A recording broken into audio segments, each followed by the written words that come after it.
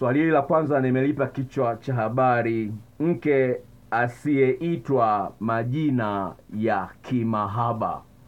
Mke asiyeitwa majina ya, ya kimahaba. Anasema dokta mimi naitwa juliet ni dada wa miaka ishirini na nane. Nimeolewa huu ni mwaka wa tatu. Lakini sasa hivi mume wangu haniiti majina ya kimahaba kama pale mwanzoni. Na mimi huwa anapenda awe ananiita hivyo na hisi dokta ameanza kupunguza mapenzi kwangu. Nifanyeje dokta? Naomba unisaidie. Kama umesikiliza mada sawa. Kama umesikiliza mada ambayo inasema kwamba penzi linavyogeuka kuwa ushenzi nimezungumzia umuhimu wa kujihoji wewe mwenyewe na kufanya tathmini ya penzi ulilonalo. Huyu mama hajagundua kwamba mume wake anachepuka hajagundua kwamba mume wake sijui anachelewa sana kurudi nyumbani. Mume wake ameacha kumwita majina yale ya kimahaba. Baby switi hani my love my password sijui nini na nini na nini. Ameacha. Lakini mwanzoni huyu dada aliyapenda alizoeshwa hivyo. Sawa? Alizoeshwa majina hayo. Kwa wale ambao wako ndani ya ndoa miaka kumi kumi na saba kumi na nane ukiona mume wako akuiti majina ya kimahaba tambua kwamba mapenzi yamepungua tambua kwamba mapenzi yamepungua. Hata kama anakununulia gari kesho kununulia gari hata mtu yeyote anaweza kununulia gari sawa? Lakini pale ambapo kwa kinywa chake ameshindwa kutamkia kwamba wewe ni mtu wa kipekee maanake mapenzi yamepungua. Hapa nanikwambia hivi kuna neno moja la, la kijina moja la kimahaba ambalo watu wanaitana especially kwenye lugha ya kiingereza inaitwa sweetie. Yaani sweetie maanake ni mtamu. Tafiti zinaonyesha kwamba unapomwita mpenzi wako majina matamu utamuona huyu mtu kuwa ni mtamu. Sasa unasikia sasa biblia ndio maana nazungumza biblia kwenye kitabu cha mithali kama sikosei sura ya kumi na nane mstari wa ishiri na moja ishiri na mbili kama sikosei. Sasa hivi kinywa kina nguvu ya kuua na kuponya. Kama kinywa kina nguvu ya kuua na kuponya. Mstari unaofuatia wa, wa, wa juu yake pale anasema kwamba mtu anayependa matunda ya mdomo wake atafurahia matunda hayo. Kwa hiyo unapokuwa unatamka kuna nguvu fulani ya kiroho inayofanya kazi katika akili ya mtu yule unayemtamkia na wewe mwenyewe na hata baraka. Makanisa. mungu awabariki kwa amani. Padri anasimama pale mbele mungu awabariki kwa amani. Ya, usi- usi- usifikirie ni mchezo wa kuigiza. Mungu anajua inafanya kazi pale unapotamkiwa mambo matamu mambo ya heri. Kwa hiyo mpenzi wako akianza kuita hani akianza kuita switi anatengeneza matatizo kwenye ndoa yako. Nikupa story ya kweli sawa. Sio story hii ni story ya kweli. Mama mmoja sawa alikuwa analalamikia mbona mume wangu siku hizi uniambia unanipenda? Sawa.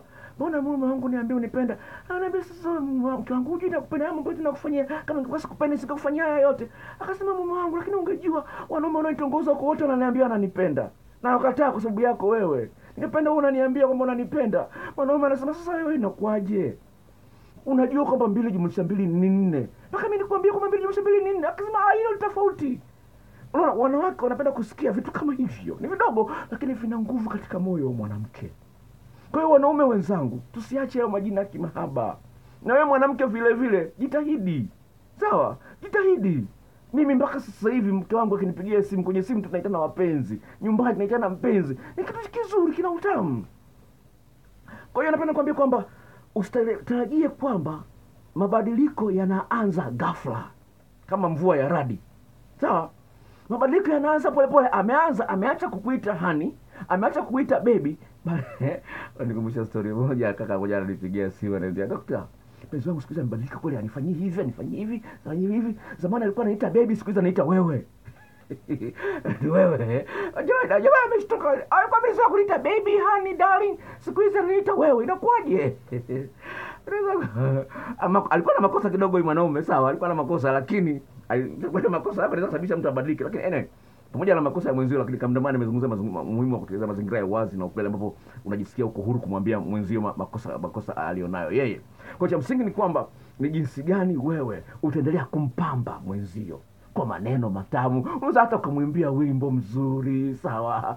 Eh, mwimbia wimbo mtamu kidogo. Ni, moja- kati ya vitu ya kusaidia kupamba uhusiano ulionao sawa. Tabasamu nipate furaha. Usiwe unanuna baby. Usiwe unachuna baby. Unamwimbia wimbo hapa. Eh, kama ni gari kwako nimefunga breki. Na pendo langu kwako halielezeki. Kwako si eti wala si feki. Siko true na warembo feki. Unamwimbiaga unamwimbiaga mke wangu alao anacheka kweli. Nakumbuka siku moja napaki gari tu naingiza napaki gari anakuja kupokea mizigo ambayo ndani ya gari. Sasa amenifungulia geti yeye. Kwa naenda mbele kidogo napaki gari nafunga nini nafungua milango naweza kutoa mizigo ya gari. Akaikuta namwimbia wimbo akaipokuja na unamwimbia wimbo. Kama ni gari kwako limefunga breki. Kwa, kwa, kwa, akafurahi kweli. Hiyo jambo ambalo kwanza kila mmoja anapaswa alifanya ili kuchochea mapenzi yaweze kuwa yananoga zaidi.